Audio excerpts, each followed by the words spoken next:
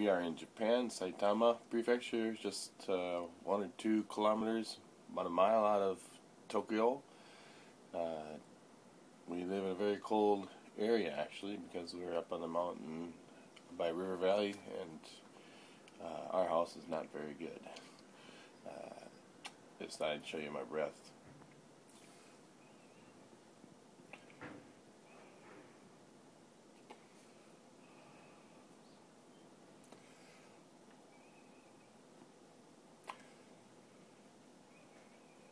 Every morning I wake up and this is what my wife sees and this is what I see. Anyways, it's quite cold every morning. And uh, this is actually a warmer morning, so my breath isn't quite as wet as it normally is.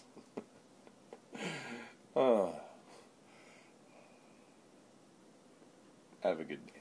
Goodbye.